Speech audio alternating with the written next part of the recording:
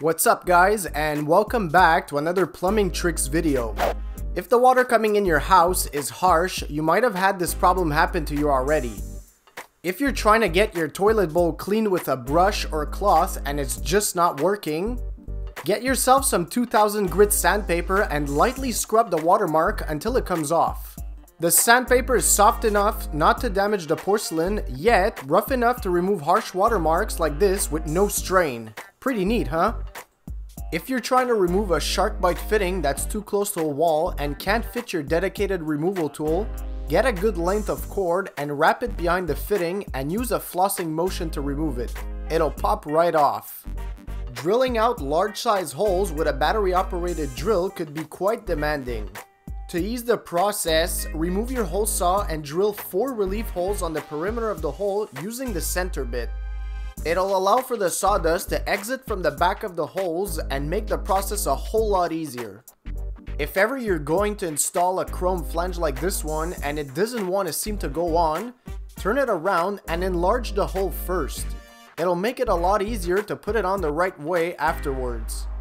If you need to solder a vertical joint on a pipe filled with water, get yourself a 12 inch section of PEX and use your thumb at the end of the pipe to suck any water out to be able to solder, and then proceed to soldering.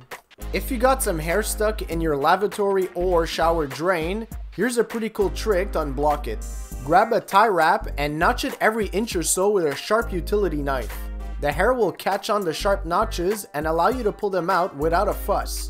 If you suspect having a leaky toilet flapper, grab a few drops of food coloring and add some to the reservoir.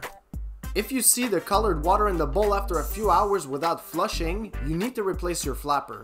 Forgetting to put your belt on before leaving work is a possible thing, but if you're a plumber, it's your lucky day. Grab a good length of solder and double it up.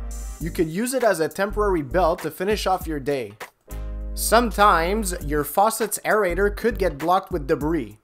Now, you could try to remove it by hand, but using a pair of adjustable pliers is a lot easier. Instead of using the jaws, turn the pliers around and use the rubber-coated handles to grasp it. You'll have a much better grip and you won't have to force as much.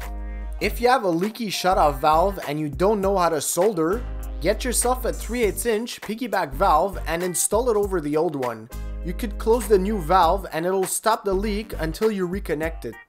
If you have a water meter in your home, here's a neat trick to check if you have a leak somewhere. Take down the number written on the meter and come back after a few hours.